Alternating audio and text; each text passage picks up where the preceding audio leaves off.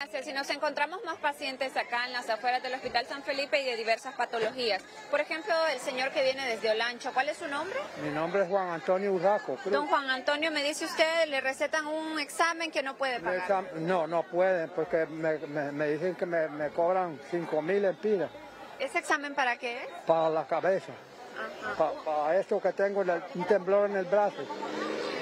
No, ¿es Parkinson o no sabe? No sé por qué no me han dicho hasta ahora que me iban a hacer los exámenes, digo yo que tal vez me podían decir. Ajá. Y entonces necesita ese examen para saber qué enfermedad tiene. Sí, y me dieron, me dieron una referencia, ma- este, una cita para, para muy largo, para el 6 de noviembre. Hasta noviembre. Sí, porque, No hay cupos. porque yo perdí una cita de- del, 8 de novi- del 8 de junio, pero, pe- pero ¿Por qué la perdió? la perdí porque no tenía económicamente, soy bien pobre, no, Para venir. no tengo hijos, nada.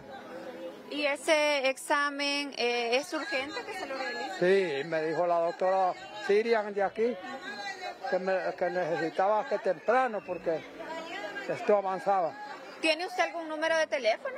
No, No se lo no, sabe. no tengo nada. pues, ¿Ni familiares? Ni fam- familiares ahí en la Torocagua, sí, pero, porque tengo una sobrina ahí. ¿Y no se sabe el número de teléfono de ella? No, fíjese que da la casualidad que yo no me sé los números de ellos. Porque para que alguna persona quisiera colaborar con usted se necesita algún número. Sí, es verdad, pero fíjese que, que yo pensé en pedirle a una muchacha sobrina mía ¿Y eh, qué día viene usted acá? ¿O cuándo tiene que volver? hasta el 6 de noviembre. Hasta Hasta, hasta el 6 de ¿De noviembre. qué manera lo contactan? ¿Dónde vive usted? ¿Acá o algún familiar?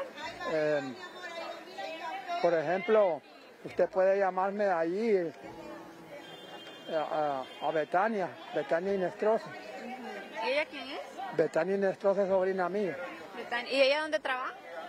Ella está trabajando ahí en una, en una fábrica donde hacen tajaditas. ¿Dónde?